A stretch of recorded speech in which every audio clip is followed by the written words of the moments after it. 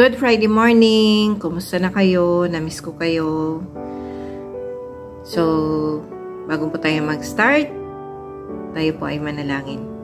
Panginoon, maraming maraming salamat pong muli sa bagong buhay, sa bagong kalakasan, sa patuloy ng pagbibless niyo sa amin, Lord. Thank you so much, Lord, sa lahat po ng blessings na patuloy na natatanggap po namin. And humihingi po kami ng kapatawaran, Lord, sa mga kasalanang nagagawa po namin, Lord. Patawad, Lord, kung nagkakamali kami.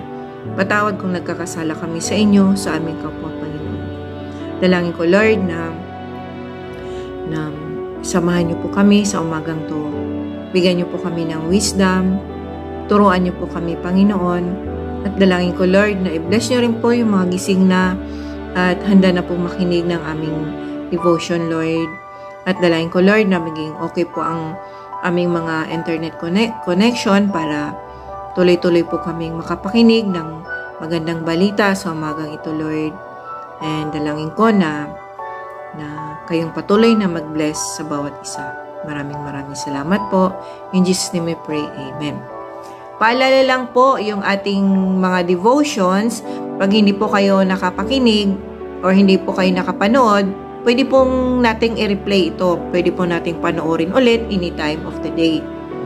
So, patuloy pa rin po tayong manood ng 8 o'clock habit po natin mamayang gabi. Bukas po, uh, Saturday, wala tayong devotion sa umaga, pero meron po tayo sa gabi. Meron po tayong 8 o'clock habit ng Baliana Family. Tapos, meron po tayong Bible True Story po para sa mga kids. Bukas 10 a.m. po yata. 10 to 11. Uh, pasalihin po natin yung mga anak natin para may matutunan din po sila. Tsaka po sa Sunday, meron po tayong worship service pag hindi po tayo naka-join, nakapunta sa church. Pwede rin po tayong manood sa bahay. Pwede po tayong uh, ma manood dahil may live pa rin po. Naka-live pa rin po sila. Tapos sa hapon po, meron po tayong uh, Book of Genesis. Pag-aral po sa mga kababaihan ng alas 3 po. Pwede po tayong mag-join. Sabihin nyo lang po sa amin kung gusto nyo mag-join. I-add po namin kayo doon sa group ng kababaihan. At tapos sa uh, hapon po meron po sa sa mga kalalakihan ng 5 PM po. Um, everybody po is welcome. Yung mga kabataan din po, meron po every other Sunday po ng 12 to 3 po yata. Ganun po. Hindi na po kasi ako youth, kaya ganun. So, ang title po ng ating topic for today is God is what? God is what? So, ano ang Diyos? So, ang ating Bible verse po ay matatagpuan sa Hebrew 11.6. And without faith, it is impossible to please God because anyone who comes to Him must believe that He exists and that He rewards those who earnestly seek Him. But without faith, it is impossible to please Him. Sabi dito. Totoo nga naman ano, kung wala tayong faith, paano natin mapiplease ang Panginoon? Ano po ba yung faith? Yung faith po na mga bagay na hindi natin nakikita, kagaya ng Panginoon, hindi natin siya nakikita. Pero naniniwala tayo sa Kanya. Kung wala tayong faith, imposibleng ma-please natin ang Panginoon. Di ba po? Tama po na paano nga naman natin siya ma-please kung hindi tayo nagkakaroon ng faith sa Kanya? Kung maniniwala tayo kagasi sa isang tao, kung maniniwala tayo, oo, maniniwala tayo. Pero wala tayong faith doon. So sabi dito, no, kung wala tayong faith, it is impossible to please Him.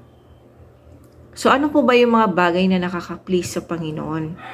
Siyempre po, yung unang-una, yung magkaroon tayo ng faith.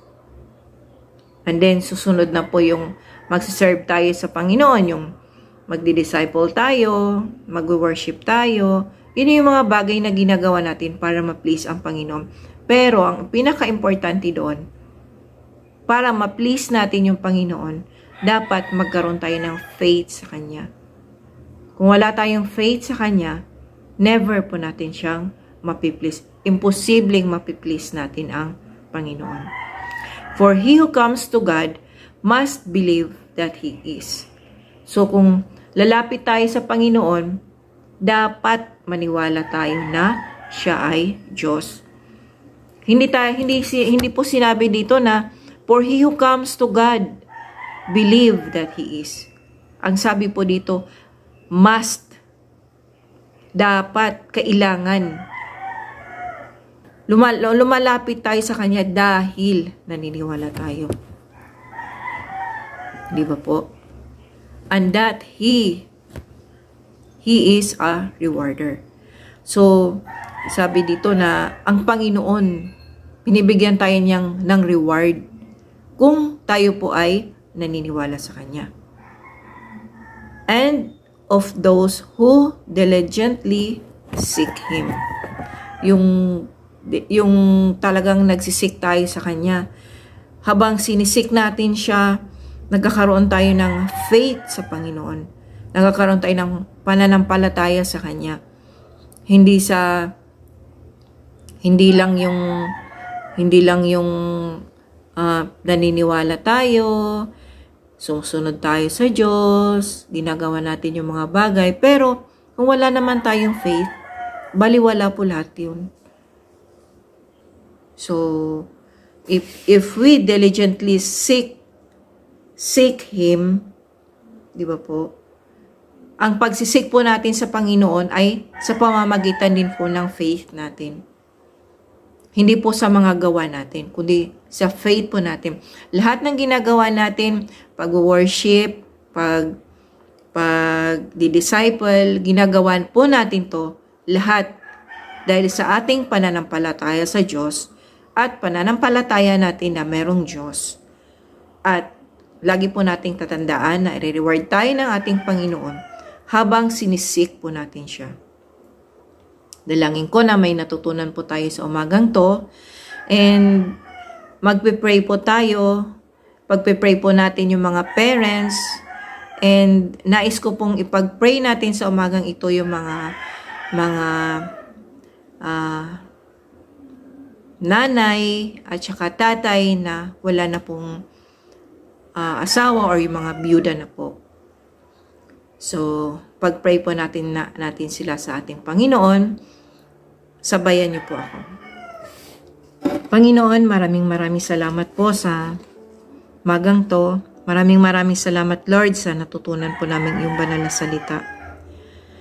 Dalangin ko po, Lord, na hindi po mawala yung faith na meron kami sa inyo. Huwag niyo pong hayaan, Panginoon, na mawala ito sa amin. Huwag niyo pong hayaan, Panginoon, na maagaw ito ng kaaway sa amin. Dalangin ko, Lord, na ang faith na ito, Lord, ay panatili sa amin hanggang sa masumpungan ka po namin, Lord. And Lord, nilalapit ko po sa inyo sa umagang to yung mga nanay na wala na pong haligi ng tahanan at yung mga tatay na wala na pong ilaw ng tahanan. Lord, patuloy niyo po nawa silang palakasin. Patuloy niyo po silang bigyan ng pag-asa. Patuloy niyo po silang bigyan ng, pananam, ng pananampalataya sa inyo, Panginoon. Patuloy niyo hawakan yung pananampalataya na meron sila sa inyo, Panginoon. Huwag niyo pong hayaang mawala to sa kanila, Lord. Dalangin ko na mapalaki po nila ng maayos yung kanilang mga anak. Mapalaki nila, Lord, na merong pagkakilala sa inyo, Panginoon ang dalangin ko, Lord, na na yung faith na meron kami, yung faith na meron sila sa inyo, Panginoon, ay ay i-reward niyo po sila, Lord, ng lahat ng kanilang mga pangangailangan.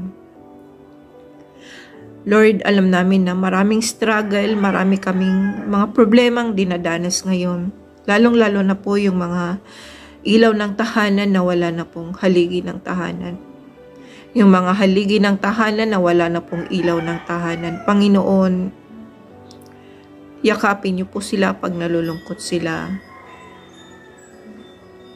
Yakapin niyo po sila pag umiiyak sila, Panginoon. Yakapin niyo po sila kung nadidepress sila. Lord Jesus, alam ko po na kayo ang aming Ama na nagko-comfort sa mga tao na nalulungkot. Nagbigyan niyo po ng joy ang kanilang mga puso, Panginoon. Na kahit sila na lang po yung bumubuhay sa kanilang mga anak ay, ay hindi po sila mawala ng pag-asa, Panginoon. Napatuloy niyo po silang tutulungan sa lahat ng oras. Lord, Tulungan niyo po silang wag silang bibitaw sa inyo, Panginoon. Andalangin ko, Lord, na masumpungan din po nila yung kanilang mga kaibigan, mga mahal sa buhay na tutulong sa kanila, magbibigay din po ng comfort sa kanila, Lord. Maraming maraming salamat, Panginoon. Alangin ko na ang faith meron kami sa inyo ay hindi po mawala kahit kailan. Maraming maraming salamat, Lord. Maraming maraming salamat. In Jesus' name we pray. Amen. So, thank you po. Thank you, Lord. It's Friday. Have a nice day. God bless you all. We love you.